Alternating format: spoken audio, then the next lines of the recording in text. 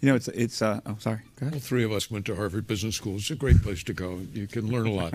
you can take the course on investment management. You can learn a lot. You'd learn more mm-hmm. if you could just take five years and be a parent of a teenage child.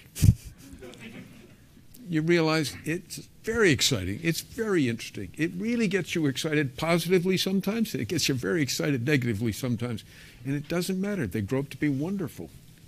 Long run.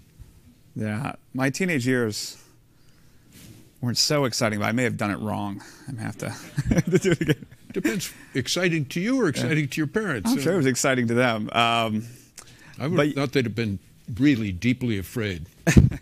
they're still trying to figure out how their son ended up in a, a, career where he doesn't have to dress up every day. Right.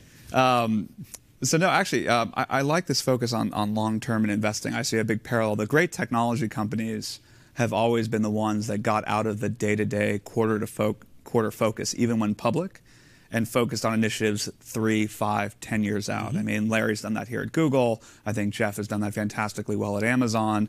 Um, I, I, think that's rare, but the great technology companies know that uh, technology reinvents the rules every few years, but it's fairly predictable that scale will increase, speed will increase, and what's now possible um, you know, so a lot of the folks in this room, their first job may have been at Google or they may have been at other technology companies.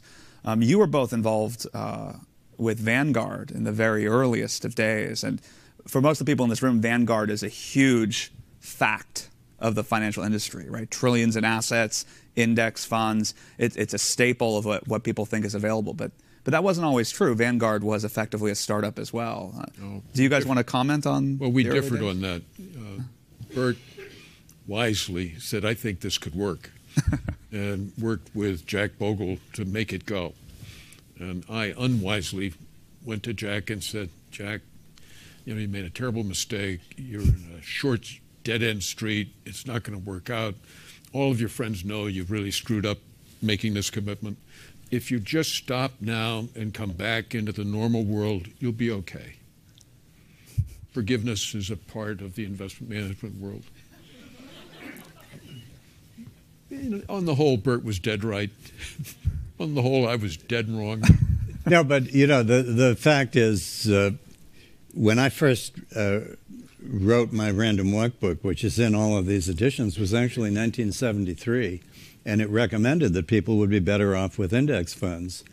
And I had a market professional review my uh, book in Business Week, and it's the worst review I ever got. They said this was the biggest piece of garbage that they had uh, ever seen. And when Jack started the first index fund, it was called Bogle's Folly. Uh, and in fact, you know, I sometimes like to think that Jack and I were the only two investors in the index fund. It was very slow to start.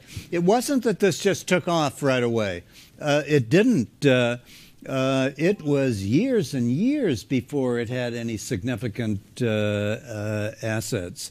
And again, that just shows you the importance of it was right. It has, in fact, it's not been, you know, people say, well, who wants to be mediocre? It's not mediocre. It's being above average, uh, uh being, in, uh, uh, being in a low cost index fund.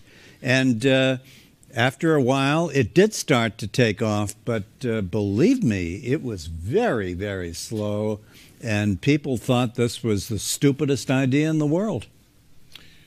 There were advertisements taken out in a trade magazine. Index funds are un American. and it was run over and over and over again because it got the laughs, but it also was what people really felt.